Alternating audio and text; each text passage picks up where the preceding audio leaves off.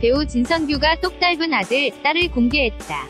진선규는 26일 자신의 SNS를 통해 아들, 딸과 함께한 사진을 게재했다. 공개된 사진 속에는 그의 딸과 아들이 깜찍한 표정을 지으며 카메라를 응시하고 있는 모습이다. 진선규는 지난해 영화 범죄도시에서 위성락 역을 맡아 관심을 끌었다. 특히 청룡영화상에서 나무조연상을 수상하면서 그는 각종 광고 촬영하는 등 바쁜 행보를 이어가고 있다. 진선규는 배우 출신 아내인 박보경과 결혼해 일남일녀를 두고 있다.